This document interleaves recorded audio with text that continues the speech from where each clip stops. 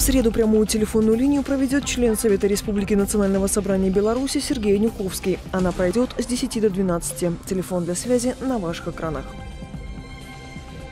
У белорусских школьников начались осенние каникулы. На отдых отправились миллион пятьдесят пять тысяч детей. Для тех, кто не любит сидеть дома, подготовили развлечения. Творческие мастерские, кинолектории, интеллектуальные битвы, спортивные эстафеты и акции по благоустройству пройдут практически в каждой школе. Каникулы продлятся до 8 ноября. С этого месяца изменились тарифы на телефонные звонки между Беларусью и Россией. Теперь минута связи стоит полтора цента. Сейчас идет пробный для мобильных операторов период. Он продлится два месяца, после чего тарифы станут постоянными. Также правительства двух стран ведут переговоры о полной отмене роуминга, но сторонам предстоит решить вопрос о компенсации издержек мобильным компаниям. На первом блоке БЛС выполнен пробный пуск турбины. Мощность реактора при этом составила 35%. Отмечается, что пуск турбины – одна из ключевых операций при подготовке энергоблока к началу выработки электроэнергии.